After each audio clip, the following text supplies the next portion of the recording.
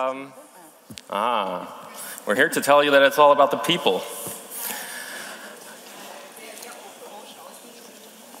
Right, I'm just going to give it 20 seconds. All right. So, I'm standing here to tell you that uh, you should forget about the web for, for a minute. So, uh, I, I, used to be a guy who told people about how to connect ideas and, and get the ideas to spread themselves. Um,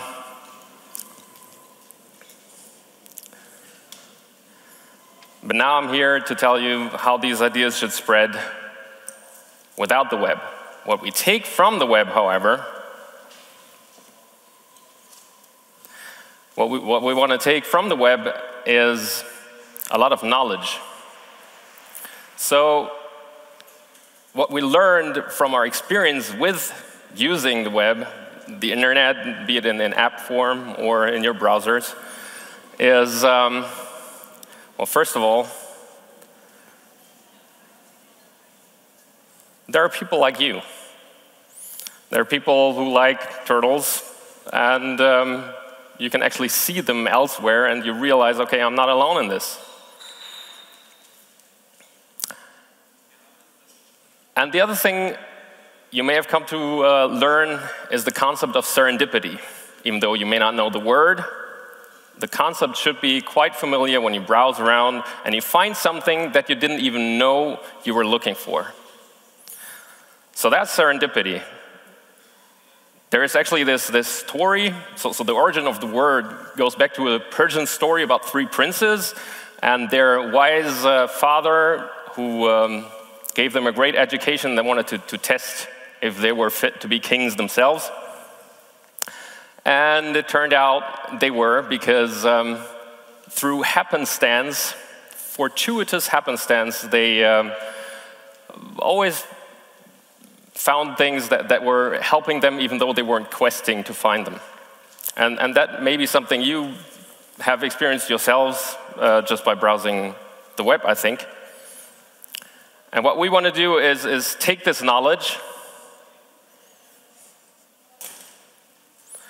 and apply it to our daily lives. Now, I remember Sascha Lobo told us uh, of a barren wasteland of what we need to do. And I'm not gonna lie. So, if you move out into the wild and in the desert, the, there will be a hardship. But if you move forward, and if you are prepared and wait for Lady Luck to come to you, then she will. The thing is, waiting alone isn't enough. You need to know how to, to understand where she may appear and then be ready for when she does. And uh, unlike Sascha Lobo said, actually, it isn't a problem to have money because Lady Luck oftentimes has money with her. So, what you did in browsing the web basically was you prepared yourself. You were training for this moment out in the wild where um, over time, uh, you've been equipped with the skills to uh, grab the bull by the horns. And just like the princes in the original story, you are able to recognize uh, the right circumstances. And that means that it's not always a barren wasteland going out there, but when you move into the wild, uh, there may actually uh, be quite nice sceneries. The thing is, very many people live out there in the wild, and they don't live on the web, which is why it's so important for us to go out there. So, I believe my life is very alien to the friends I grew up with in kindergarten. They, they really don't understand um, what I'm doing to make a living. Heck, I, I don't think my tax accountant understands what I'm doing to make a living. so that's why it's all the more important that you actually move away from, from this, this alien space into the wild where, you know, nice people actually live.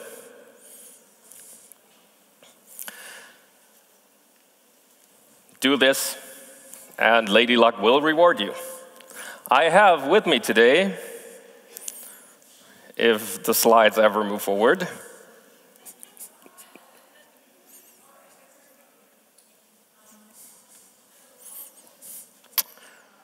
ah. So I have with me today two people who can tell you a lot more about why it makes sense to believe, why, even though your idea may be unfinished, you're already in the right place to overcome the gatekeepers. And wherever you may be, be prepared for luck to find you. And these two people build networks of their own outside of just you know, the networking thing we call the internet.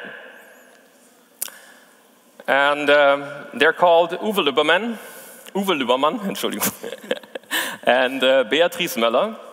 And uh, they are here to tell you uh, what it takes to believe and, and why it makes sense to do so, and also what steps you actually need to take to succeed in um, relying on your trust.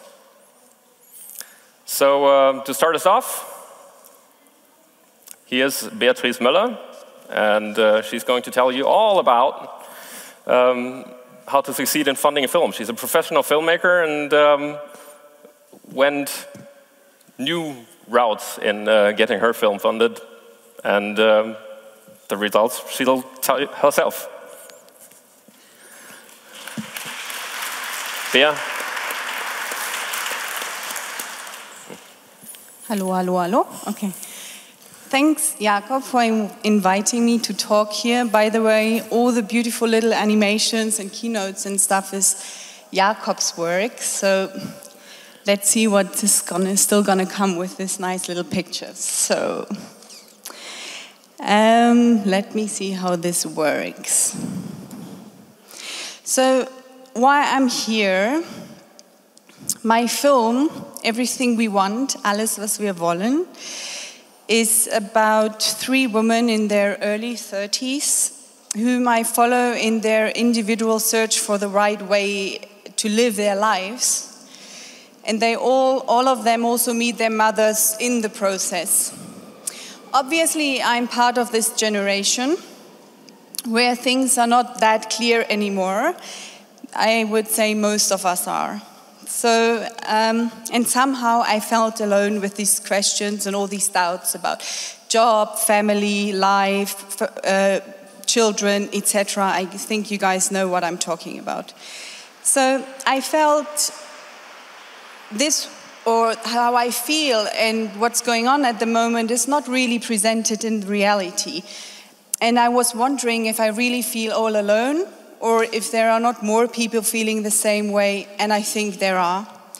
So I really strongly felt I wanted to do this film. Um, so I'm going to show you the trailer now of the finished movie and then briefly inform you about this adventurous, exciting production process. So let's see if that works.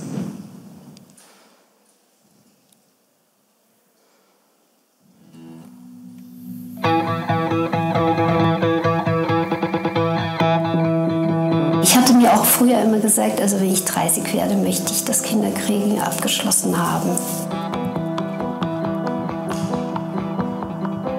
Die Welt ist so offen und was ihr mitkriegt an Reichtum in eurem Leben, das hat, glaube ich, noch keine Generation so mitgekriegt wie ihr. Ich finde das beneidenswert.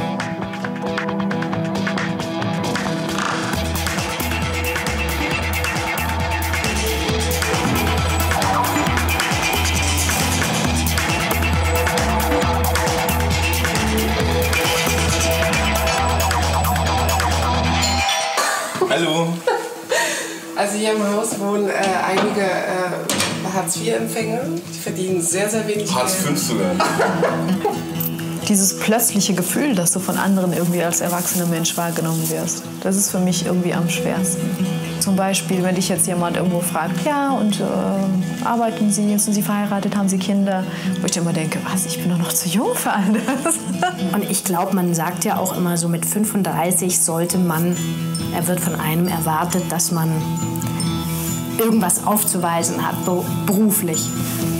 Kann ich von mir sicher nicht behaupten.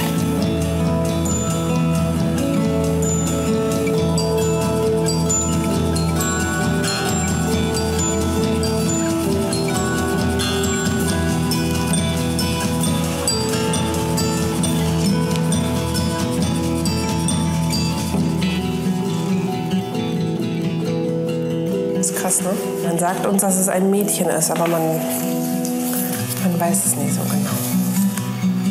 Ich weiß, es kommt wahrscheinlich irgendwas Schlechtes auf mich zu und ich weiß nicht, was es ist. Es äh, wurden äh, Veränderungen an den Zellen festgestellt. Es ist noch nicht Krebs, aber es kann zu Krebs werden wenn man beruflich nirgends reinpasst, beziehungsmäßig nirgends reinpasst, auch sonst irgendwie so ins Gesellschaftsbild, also nicht definiert ist, dass man sagt so, hm, aber wer, wer bin ich dann, was bleibt dann übrig?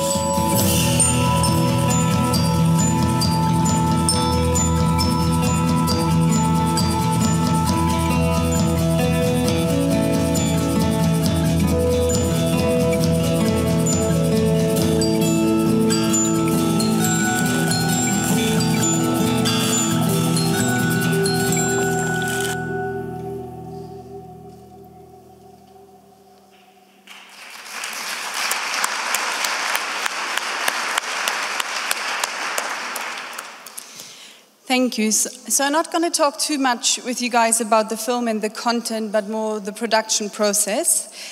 Um, briefly, the film, it premiered last year in April at Achtung Berlin. It was a great premiere. Then I distributed the film by myself, and through that process, I find a distributor who did like a German theatrical release then in March this year, like right on Women's Day, which was great for that film. So, um, let me see how this. Good. Um, so, in contrary to a TV production where things have to be planned because of budget and everything in the beginning, with this movie, things were not planned from the beginning at all. And um, so many things were, were taken step by step, or when the problems hit, we looked for a new solution. Um, so we dealt with all the problems and complications with not having money and stuff um, th um, through the production. Um, so the very first thing I had to do was, before the whole thing, was to actually, I love this thing here, to um, not to wait for the usual gatekeepers to finally like the project, because if you do that, you can wait for one, two, or three years. Um, I tried though, they didn't want to finance it, so I decided to walk the path alone and try different things without TV station and film funding. Um, today, when I look back, like the last five years on this journey, were very exciting, and many things happened which I would have never seen, like I would not have been able to see before. Amazing because it all started with. Um, once I, um, hold on, it all started and changed once I spread my idea with many people using, for instance, crowdfunding, which like three, four years ago was kind of really new in Germany. And um, I was looking for other methods like crowdfunding. Um, so putting the project up in the World Wide Web was part of um, was, was a big part, but the bigger part was actually meeting people, talking to them, make personal contact. It was very important, and also meeting the people at the right time, at the right place, with the right money. Um, so, all the key people I met during the process who actually gave me money, who financed the project, who helped me with developing the idea, were all, in the end of the day, people I met physical, physically. So, as we said, the first step is really to put your idea out there, although it might not be completely finished. And especially with a long term movie like that, where I actually followed the woman for three years, like it's very hard to tell TV stations and stuff, ah, yeah, in the end, this and this is going to happen. Like, this one will get pregnant, this will this one will get sick, this one will, so you can't. So I actually had to go out with an idea which I by myself didn't know what's going to happen, what will happen. So that there, this is courageous. So, um, and it's sometimes scary, but in the end, it's really worth it. So, sharing your idea, um, especially with like minded people in the beginning, and please don't share the idea with critical, very critical people in the beginning.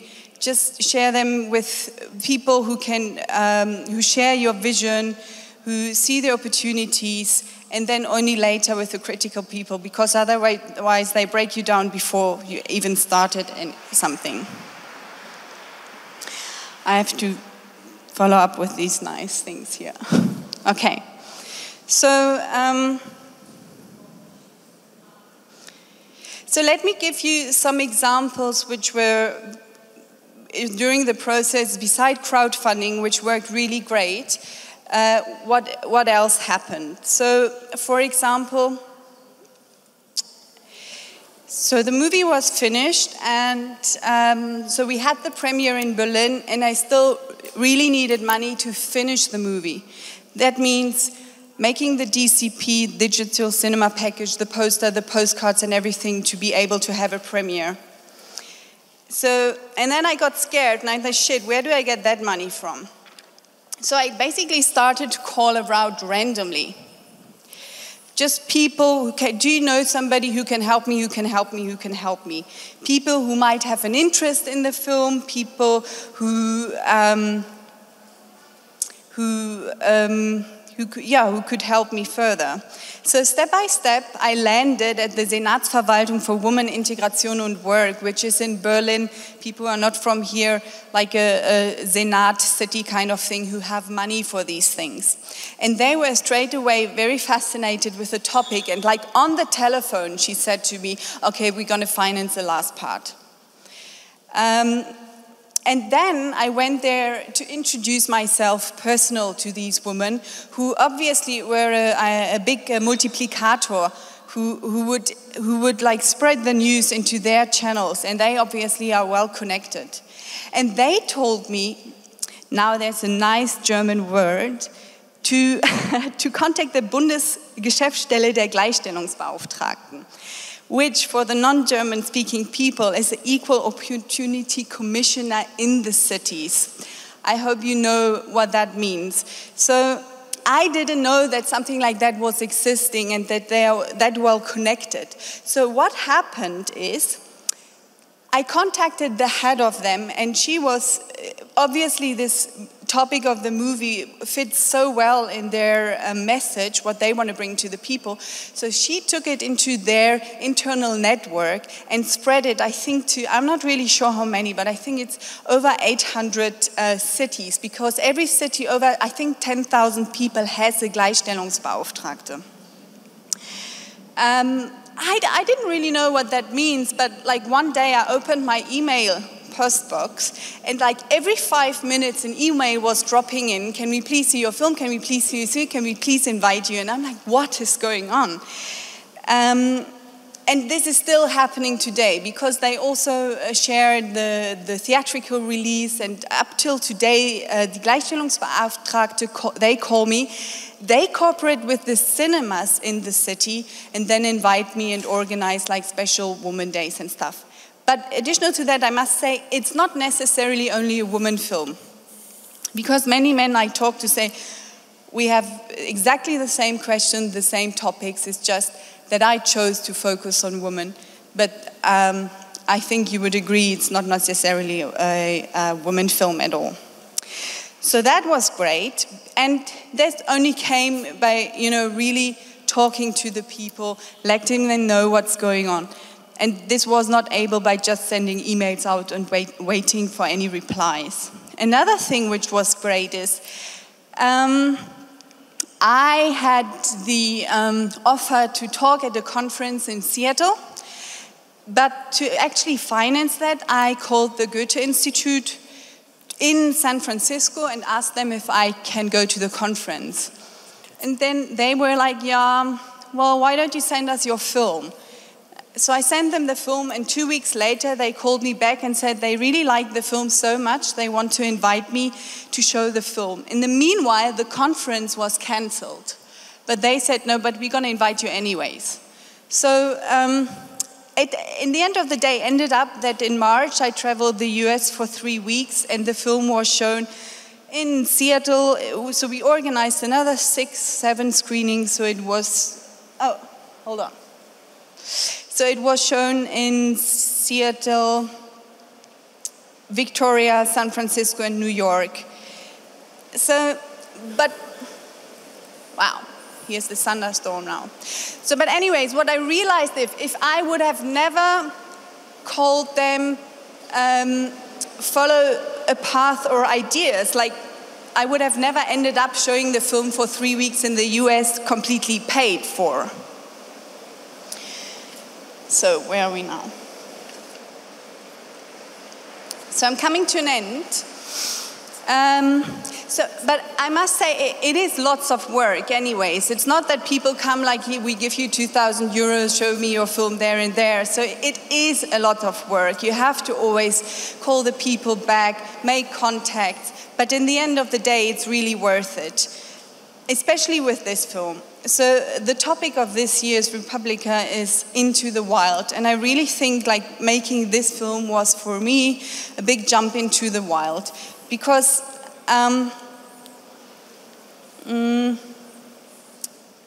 it was really empowering and. Um, and I actually experienced myself I, that I don't actually have to wait for the gatekeepers. I can do it and still have a voice. And that was an amazing feeling, really empowering. And I think uh, someone who really knows a lot about um, how not only are you not alone in the world, but about. Uh, here, if you want to see more. we have, late, yeah. just quickly, okay. we have a website, we have a Facebook website. Follow us and see what's happening there. Thanks a lot. Jetzt klick an den And here's Uwe. Okay, so I only have a very few minutes left, so I'm going to do this without uh, slides. What I tried to bring to the table was I'm a drinks producer, and uh, I've been doing this since the last uh, 12 years. And I'm doing consensus democracy with nearly 1,000 stakeholders right now, so every stakeholder can veto every decision. And who of you thinks this is impossible to do? Well, I think so too. and uh, this is a running company. We deliver to 200 cities in uh, three countries, so um, we've proven that it is possible, in fact. And uh, by doing so, we found several solutions which are quite uncommon to the usual business. For example, we have no profits, we have no volume discounts, we have no advertising at all, not like other brands you might have seen here at the conference. And um, who of you needs advertising, by the way? Who of you likes advertising? Very few people. Some of you work there, okay. And um, we have one example I wanted to uh, present to you, which might sum up the way I'm trying to do business. We have a truck driver who has 30 years of experience. His name is Michael.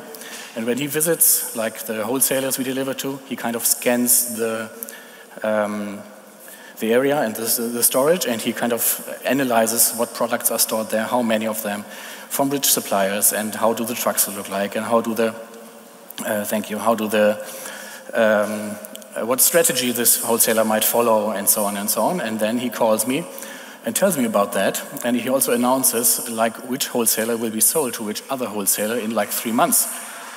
And uh, this is, uh, actually happens. So he's sharing with me lots of experience, lots of knowledge, which I otherwise wouldn't be uh, able to gather myself. And I think this is about building up trust between people. And this, of course, uh, takes a little while. So usually it takes like two years for people working with us, from like knowing we are the good guys to actually feeling it. And hope this is also not working. I don't know why. Um, and this is maybe the, the core idea I'd like to present uh, to you here. If you kind of treat people on eye level, and 95, 99% of people will be good and will be sharing with you, and then things get possible which are impossible elsewhere. Thanks you.